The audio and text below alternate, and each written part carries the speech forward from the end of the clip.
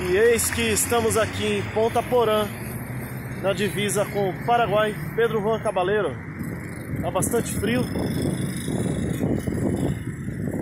Ali do outro lado, onde tem o posto de gasolina, já é o Paraguai. E aqui onde a gente está é o Brasil. Essa é a fronteira seca.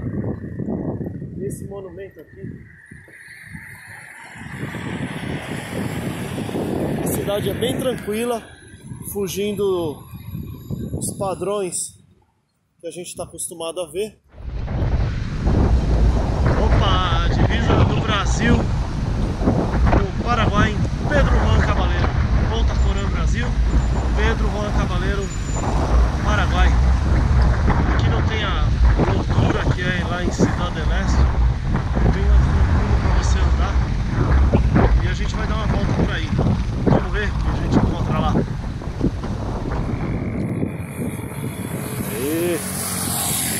Esse é o Paraguai de Pedro Juan Cabaleiro, olha.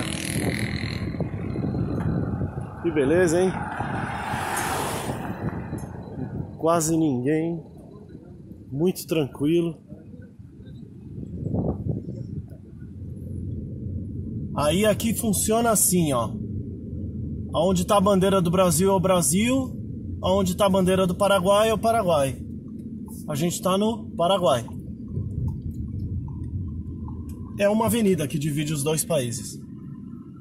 E a gente vai chegando aqui no Shopping China.